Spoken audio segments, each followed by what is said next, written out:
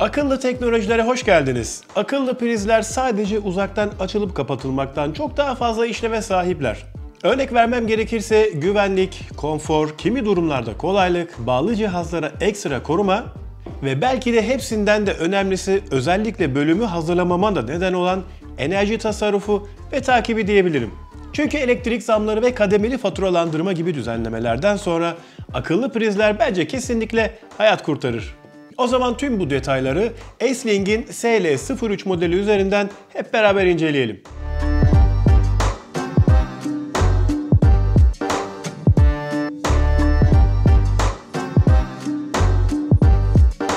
Tekrar merhabalar. Umarım sağlığınız ve keyfiniz yerindedir. Uzun zamandan beri akıllı ev ürünlerini ihmal ettiğimi fark edince seriye en kolay ve en ucuz yöntemlerden biri olan akıllı prizlerle tekrar başlamak istiyorum. İlerleyen günlerde uygun fiyatlı diğer bileşenleriyle devam edeceğim. Bu nedenle şimdiden kanala abone olup zil tuşuna da basabilirseniz çok sevinirim. Hatta bir de videoyu beğenerek ve yorum yaparak da kanalın YouTube algoritması tarafından fark edilmesini bile sağlayabilirsiniz. Şimdiden teşekkür ederim.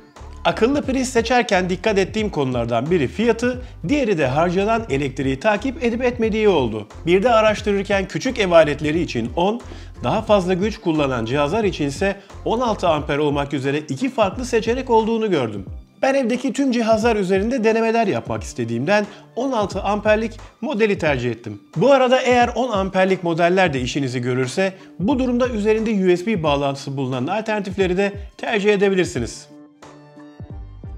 Piyasadaki bütün akıllı prizlerin tasarımları aslında birbirleriyle oldukça benzer. S-Link SL03'ün tasarımında ise özellikle RGB yani renkli led aydınlatmayı çok beğendim. Yanda bulunan düğmeye uzun süre basarak prizler hem sıfırlanabiliyor hem de yeni bağlantıları açık hale getirilebiliyor.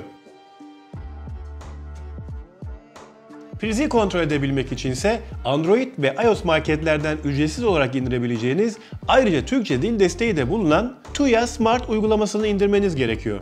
Mail adresiniz ile ücretsiz bir hesap oluşturduktan sonra da sağ üst köşedeki artı simgesinden Add Device yani cihaz ekle sekmesine basıyorsunuz. Uygulama anında civardaki cihazları taramaya başlıyor ve otomatik olarak da algılayabiliyor. Sonraki aşamalarda gerekli izinleri verip Wi-Fi ağınızın da bilgilerini girdikten sonra kurulum oldukça hızlı ve pratik bir şekilde tamamlanabiliyor. Küçük bir ekleme olarak ekstradan köprü gibi donanımlara da ihtiyacınız yok. Evin menüsünden kurulumu tamamlanan cihazlarınızı görebilirsiniz. Buradan ister direkt cihazın elektriğini kapatıp açabilir veya ürün görselinden de daha fazla özelleştirme ve ayarlar menülerinin bulunduğu yerlere ulaşabilirsiniz. Renk ve sahne sekmeleri tamamen dış aydınlatmayla alakalı. Kronometre ve sağ simgeleri ise zamanlama opsiyonlarını içeriyor.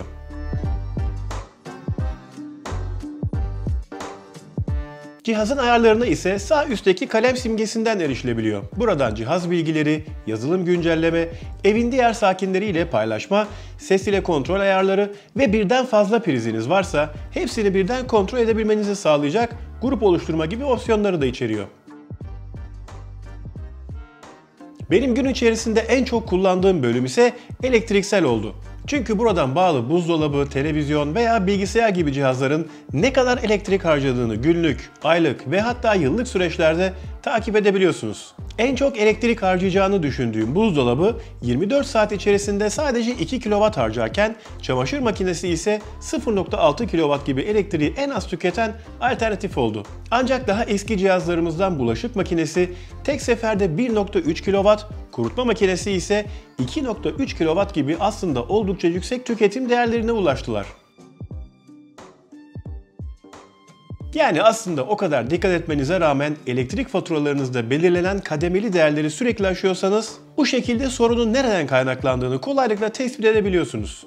Böylelikle daha bilinçli tasarım önlemleri de alma şansını yakalıyorsunuz. Yalnız sadece tek bir priz kullanarak evin değişik alanlarındaki tüm cihazları test etmenin oldukça zahmetli olduğunu söylemem lazım. Çünkü her seferinde çamaşır makinesini veya kurutma makinesini ve hatta buzdolabını bile çekmek zorunda kaldım. Bu arada akıllı priz elektrik kesintilerinden etkilenmediği gibi evin farklı prizlerinde de rahatlıkla çalışabiliyor. Ben test ederken en ufak bir sorunla da hiç karşılaşmadım. Uygulamanın ana sayfasındaki akıllı cihaz sekmesinden ise varsa farklı aydınlatma, kamera veya priz gibi diğer tüm cihazların tamamı veya her biri için ayrı olmak üzere hava, zaman, konum veya cihaz durumuna göre farklı otomasyonlar oluşturabiliyorsunuz. Ekstradan enerji tasarrufu sağlamak için bu menüden evdeki prizlerinizden bir grup oluşturabilir ve yaratacağınız otomasyonlara göre gece boyunca otomatik olarak kapanmalarını sağlayabilirsiniz. Ve yaratacağınız otomasyonlara göre belirleyeceğiniz saatlerde gece boyunca otomatik olarak kapanmalarını sağlayabilirsiniz. Böylelikle televizyon veya klima gibi standby konumunda olsalar bile güç harcayan cihazların gereksiz elektrik tüketimlerini de engellemiş olursunuz. Şimdi de akıllı prizlerin olası kullanım alanları hakkında biraz konuşalım. Öncelikle akım koruma özelliği sayesinde ani voltaj değişimlerinde elektriği keserek bağlı cihazın zarar görmesini engelleyebiliyorlar. Akıllı priz uygulama üzerinden bulut sisteme bağlı olduğundan hesabınızı kullandığınız tüm telefon veya tabletlerden rahatlıkla kontrol edilebiliyor. Böylelikle ütüyü açık unuttuğunuzu düşündüğünüzde uzaktan elektriği kesebilir, kahve makinesi veya kettle gibi mutfak aletlerinin sabah siz kalktığınızda hazır olmalarını sağlayabilir veya tatile gittiğinizde sanki evde birileri varmış gibi uzaktan ışıkları açıp kapatabilirsiniz.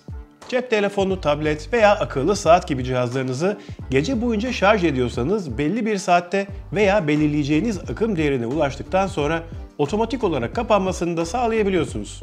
Gerçi son çıkan birçok telefon modelinde artık iyileştirilmiş şarj özelliği bulunduğundan belki ihtiyacınız olmayabilir ama eski cihazlarda kesinlikle hayat kurtarır. Evde kullandığınız bilgisayar, medya oynatıcısı veya benim başıma gelen bir senaryo olarak güvenlik kamerasının sürekli uzaktan donması veya kilitlenmesi gibi durumlarda prizi uzaktan kapatıp tekrar açtıktan sonra bağlı cihazın yeniden başlamasını sağlayabiliyorsunuz. Böylelikle fiziki olarak gidip çözmeniz gereken konuları uzaktan da halledebiliyorsunuz. Benzer senaryo evde ulaşılması zor, mesela ağır dolapların arkasındaki prizler için de geçerli. Bu tip yerlere ulaşmaya çalışmaktansa uzaktan kontrol edebilirsiniz. Son olarak internette yaptığım araştırmalarda mining yapan bilgisayarlardaki ekran kartlarından birinin arıza yapması gibi durumlar düşen elektrik tüketiminden tespit edilebiliyormuş. Dolayısıyla bu senaryoyu kullandığınız farklı cihazlar için de düşünebilirsiniz. Evet, günün sonunda basit bir prizi sadece internete bağlayarak akıllandırmak ve bu kadar faydalı bir cihaz haline getirebilmek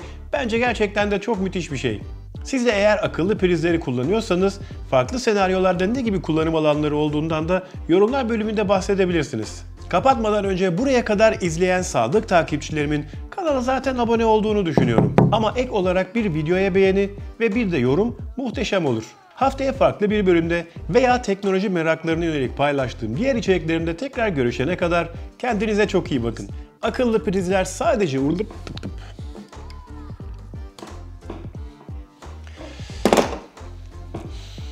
RGB yani renkli led aydınlatmayı daha çok çok diyorum. 10 amperli 10 10 al 10 al. Sorunun nereden kaynaklandığını kolay